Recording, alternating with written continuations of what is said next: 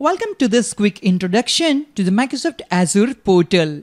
In this video, we will walk you through what Azure portal is and give you a brief overview of the navigation menu to help you get started with managing your cloud resources. Hello everyone, I hope you are all doing well. I'm Manhar and welcome back to MSFT webcast. We can configure and manage Azure using a broad range of tools and platforms.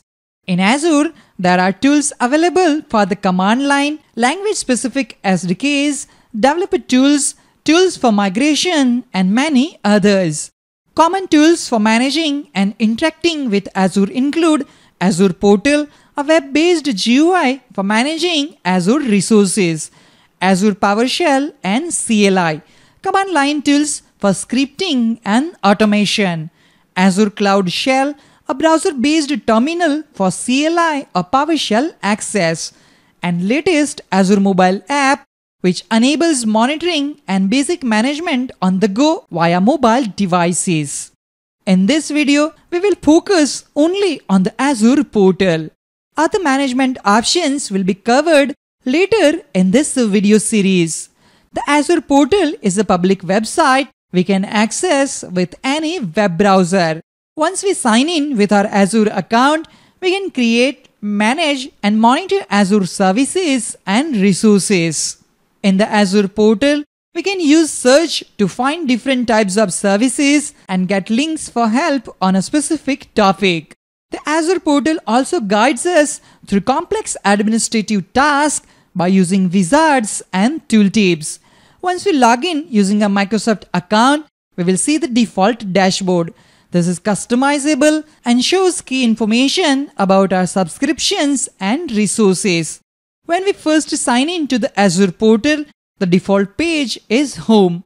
We can change our default view to the customizable dashboard in the portal's settings. We will learn more about dashboards later in this video series. Click on this hamburger menu. In the portal's left-hand sidebar is the portal menu, which lists different Azure services and resource types. Azure has many more services than what's shown in this menu. The services listed here are the ones in our favorites. We can customize our favorites with the specific resource types we create or manage most frequently. This is Azure Portal Header, the portal header is a key element of Azure's website and will always be present no matter the screen you find yourself in. It includes a shortcut to the homepage in the form of Microsoft Azure text logo and a global search bar. The global search bar can be used to look for existing resources or helps us find a service we intend to start using. Near the top of the screen, we see the Copilot button. If our organization has made Microsoft Copilot in Azure available, we can select this button to ask questions, quickly navigate to services and resources, or to get help with tasks. For example, Copilot in Azure can help us design, operate, optimize, and troubleshoot our Azure apps and infrastructure. Copilot for Azure can also help us gain new insights about which Azure services can help with our objectives. Please note that Copilot for Azure is in preview at the time of this video recording. On the most right hand side, we will find a couple of useful tools and a quick info about the account currently used and the current directory. This section is known as Azure Portal Global Controls.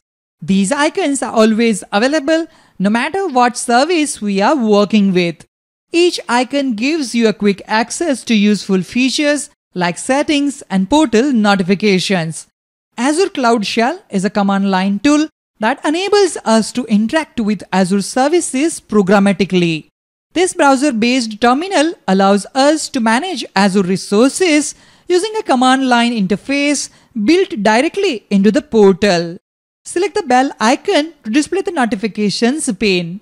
This gives us information about the most recent actions that have been carried out along with their status. The next three icons represent the portal settings, Azure support service, and the feedback form that allows us to rate our experience with the portal. Using the gear icon, we can personalize our Azure portal experience and configure portal settings. A separate video will cover this topic in details. For any Azure related challenges, we can reach out to Microsoft through the Azure support button. We can also see if any ongoing health events are impacting our Azure subscription or find links to support resources. Click on the feedback icon to open the pane that let us send feedback about Azure to Microsoft. We can decide whether or not to allow Microsoft to respond to our feedback by email. Clicking our name in the top right corner opens a menu with several settings such as signing in with another account, signing out, or viewing our account profile where we can change our password. Select the More Options button on the right hand side for options to check our permissions, submit an idea, view a bill, and update our contact information. This video is designed to give you a basic introduction to the Azure portal. By now, you should feel confident navigating to the Azure portal. With this basic knowledge, you are all set to dive deeper and unlock the full power of Azure. Ready to explore more? Stay tuned for the next two videos. That's all for this video on Introduction to Azure Portal and Navigation menu. I hope you found this video helpful and informative.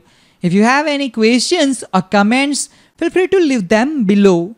Don't forget to like and subscribe for more videos on Microsoft Azure and other Microsoft related topics. Thank you for watching and I'll see you in the next video. Have a great day.